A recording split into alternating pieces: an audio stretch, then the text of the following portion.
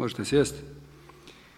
Ja bih vas molio gospodine Pernar u ovoj vašoj raspravi ste imali elemente vizionarstva i Nostradamusovog proroka, ali bih vas molio ovaj Visoki dom nije baš mjesto gdje ćemo na tako olak način blatiti i tako ružno govoriti određenim osobama i nismo ovdje pozvani da budemo suci, postoje institucije države koje će o tome odlučiti. Dakle, ja vas molim i još jednom apeliram na vas nemojmo na tako ružan način govoriti o određenim osobama bez obzira na vaše osobno mišljenje vi ste zastupnik hrvatskog naroda u najvišem Domu predstavničkom hrvatskog naroda i nemojmo slati odavde loše poruke loše obrasce ponašanja. Još jednom vas molim za to. Iako ste malo prije obećali mom kolegi prethodniku predsjedavajućem da nećete to više ponavljati, pa evo nadam se da treći put i Bog pomaže.